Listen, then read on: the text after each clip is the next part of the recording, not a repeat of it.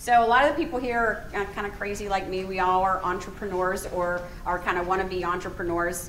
Um, and so we all have about three to four different businesses going on at the same time. Um, which you know presents the overachiever on the forehead type of um, thing. But it's always um, a lonely place to be an entrepreneur because there's not a lot of venues where you can sit down and talk about ideas and successes uh, with other people that actually get it. So if you tell a spouse or a loved one, and uh, you know they're kind of like, "Really, you're going to try that? Uh, you know, why would you do that?" kind of a thing. And so this is kind of a place where we open up and do that. And right now, there's certified business advisors and about um, I think we're up to over 100 now, he said last night, um, in different areas and cities around the, the area. So we, we call it Tasting the Kool-Aid of Dan Kennedy, and, and he's our mentor, and he's who I've studied for the last eight years.